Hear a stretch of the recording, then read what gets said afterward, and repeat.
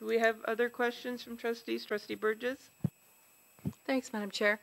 Um, I had, um, I've had several, quite a few phone calls actually, but uh, um, there was a presenter uh, in our December meeting that brought something to my notice, and um, I just wanted to make sure, are we making sure that everybody who comes as a presenter or on our present speakers list uh, who comes to speak knows that they will be live streamed and that the live stream is kept um, on our YouTube channel for some time.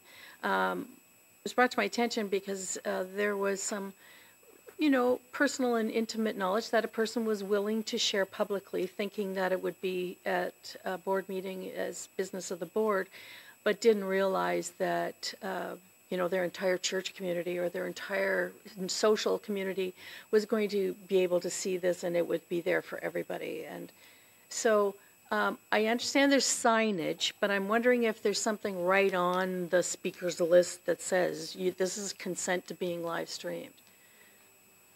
So I know that it's on our website homepage, but I don't know specifically beyond that. And I know that, um, you know, the requests come through the director's office and there's dialogue. But we could make a note to check that. Yeah, so supplemental, I would say that it's a gap because it's not, it has to be kind of on where you sign. you We don't, we don't know yet that it's not happening, Right. so. Okay, Okay, Thank thank you. Do we have any other questions under trustee question period?